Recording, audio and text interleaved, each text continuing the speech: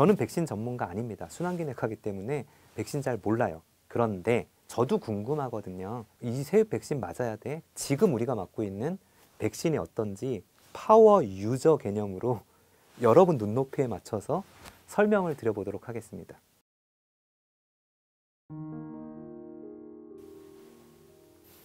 안녕하세요. 서울대병원 순환기내과 나상훈입니다. 코로나 백신. 어, 갑자기 개발하니까 안전하지 않다? 뭐 이런 생각들 많이 하시죠? 지금 우리가 맞고 있는 새로운 형태의 백신을 어떻게 맞는지 한번 알아보도록 하겠습니다.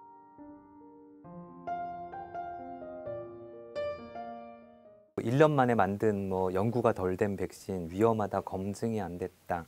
사실 이제 옛날에 이제 우두법, 종두법 해가지고 그 소에서 추출한 바이러스를 죽여서 아니면 살아있는 바이러스인데 사람한테 위험하지 않은 소의 바이러스를 살아있는 걸 넣던지 한 개 백신의 원리거든요. 그게 생백신, 사백신이란 뜻이거든요.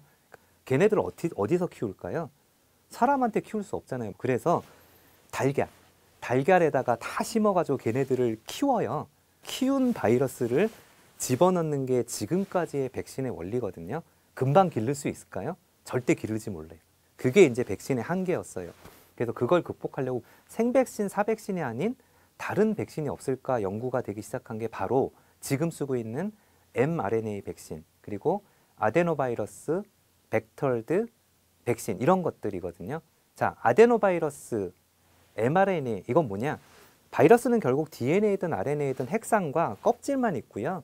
단백질을 못 만들어내거든요. 그게 몸에 들어오면 그 바이러스의 DNA 혹은 RNA로 단백질을 숙주, 사람한테 만드는 거예요. 혹시 이 바이러스의 단백질 구조를 다 알고 그 중에서 병을 일으키지 않지만 항체를 만들어내는 DNA, RNA만 안다면 개만 집어넣으면은 감염 위험성 없이 백신을 만들 수 있지 않겠냐 이런 생각이 60년대부터 있었고요. 근데 핵심 기술이 없었어요. 두 가지 핵심 기술. 새로 생긴 바이러스 감염에 바이러스 핵산을 빨리 분류해낼 수 있는 기술이 90년대 없었고요. 두 번째, 그 핵산이 작동할 수 있도록 보관해서 사람 몸에 넣는 방법을 개발을 못하고 있었기 때문이죠. 2000년대 이후로 비로소 핵산 분석 기술이 엄청나게 발전이 돼서 지금은 이번에 코로나처럼 처음 보는 바이러스도 핵산 분석을 몇 주 만에 해내요. 그리고 2010년대 이후에 나노파티클 기술이 개발되면서 그거를 싸서 안정적으로 나올 수 있는 리피드 나노파티클 기술이 개발돼 있죠. 딱 시작할 수 있게 된 거죠. 아, 그렇다 하더라도 실제 바이러스를 만든 적이 없으니까 어설픈 거 아니야? 아닙니다. 지금 코로나 바이러스는 사실 알겠지만 2002년에 사스, 2015년에 메르스랑 똑같이 코로나 바이러스의 변형이거든요. 거의 똑같아요. 그때부터 아데노바이러스 그리고 mRNA 백신을 생산하려고 거의 완성 직전까지 연구는 했는데 코로나처럼 전 세계에서 번진 게 아니고요. 전 세계에서 만 명, 3만 명 생기고 말았어요. 다 만들어 놓고 실제 효과가 있는지 쓰지를 못한 거죠. 원리 40년 됐죠. 그리고 만들 수 있는 핵상 기술 20년 됐죠. 코로나 바이러스에 적용할 기술이 사스부터 시작하면은 20년, 메르스부터 시작해도 6, 7년 이상 탁 준비 다 돼 있었어요. 근데 코로나가 탁 터졌죠. 요 이 땅 이미 옛날부터 기술은 다 있었고 코로나 핵산으로 만들 준비. 그래서 절대로 급하게 만든 백신 아닙니다. 자, 마지막으로 중요한 게 있는데요. 앞으로 코로나 23, 코로나 28 계속 생길 수도 있을 것 같아요. 제 생각에는. 근데 제 개인적인 생각으로는 그때는 지금같이 판데믹이 될 것 같진 않습니다. 그 이유가 뭐냐면 생백신 사박신은 원리상 갑자기 대량 생산하는 게 불가능하고 바이러스를 기르는 기간도 있거든요. 한계가 있어서 대응을 못해요. 새로운 백신 기술 뭐가 좋냐? 키울 필요 없어요.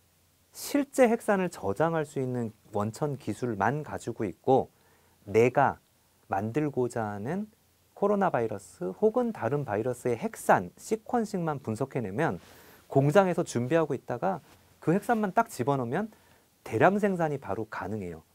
그 핵산을 가지고 있는 나노파티클이나 아데노바이러스를 전달할 수 있는 그런 백신 플랫폼 때문에 알레르기 반응이나 부작용이 생기는 거거든요. 지금 현재 누적 접종률이 몇 억 건 되시는 거 아시죠? 이 플랫폼들은 이 코로나 때문에 안정성이 이미 입증이 돼 있기 때문에 다음 코로나 바이러스 혹은 다른 바이러스가 있을 땐 안정적인 mRNA, 안정적인 아데노 바이러스 거기다가 집어넣기만 하면 핵산 분석이 된 후에 몇 개월 안에 아마도 대량 생산이 가능할 것 같습니다. 다음에 똑같은 일이 생기면 역시 전 세계로 번질 수 있겠지만 다음번 코로나는 지금과 비교가 안 되도록 빨리 극복할 수 있을 것 같습니다.